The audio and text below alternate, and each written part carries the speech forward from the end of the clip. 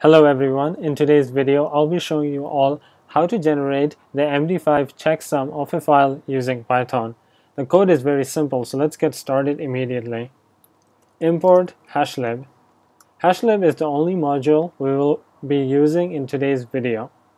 Now moving on with our code, we first need to create a variable called file name where we pass in the path in which our file is stored. So I pass the path uh, we want to generate the MD5 checksum for rotated.pdf. Now, the next thing we need to do is we need to create a hash object. So let's call the hash object hasher equals to hashlib.md5. Hashlib has a function called md5 which will help us generate the md5 checksum. So to do this, what we need to do is we need to open the file and then we need to read the contents of the file and pass those contents to the hash object. So to do so, we write with open. Inside the open function, we need to pass in two arguments. The first one is the, fi the file path. So we pass in file name. And then the second argument is in which mode do we need to open it. So since we are going to read the contents, we use RB to open it in read mode. And we open it as open file. Open file is just uh, a name. And then we need to store the contents of this opened file. So we store the contents in the variable called content equals to open file dot read. The read function will help us to read the contents of the file. So now we need to pass these contents to the hash object.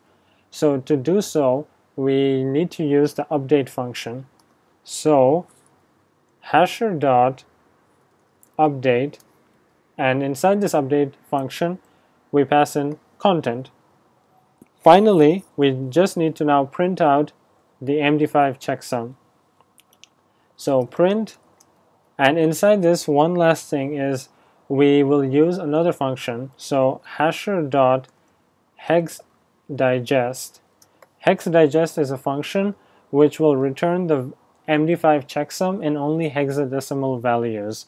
So that's a, that's it. We just save this, and if we run this, we will be able to get the MD5 checksum of the file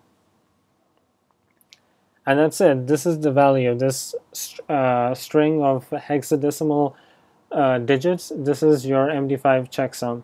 So in case you're passing a file to your friend and you want to know if your file has been corrupted or modified in any way so you and your friend can uh, uh exchange this md5 checksum and you both can independently verify this value. If it's the same that means your file has been untouched.